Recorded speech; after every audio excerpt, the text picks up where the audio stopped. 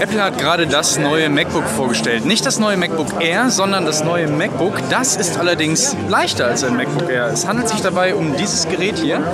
Das wiegt 907 Gramm, also 2 Pounds wurde in der Keynote gesagt, 907 Gramm und es ist wirklich, es ist super schön. Das gibt es in Space Grau, in Silber und in Gold.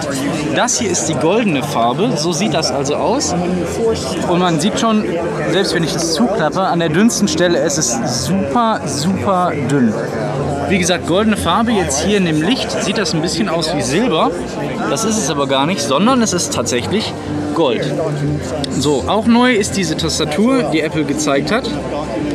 Das ist eine ähm, neuartige Tastatur mit einer Butterfly-Technologie. Das heißt, man kann wesentlich angenehmer tippen und egal wo ich die Taste treffe, ich habe immer den gleichen Druckpunkt darauf. Das ist auch neu, genauso wie dieses Trackpad hier. Das unterstützt also jetzt auch Force Touch.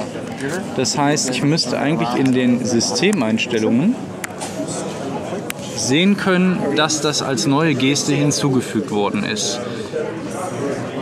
Und das ist es auch. Hier unten ist der Force Click and Haptic Feedback. Das heißt, ich kann bestimmte Gesten dadurch auslösen, dass ich etwas kräftiger auf das Touchpad drücke.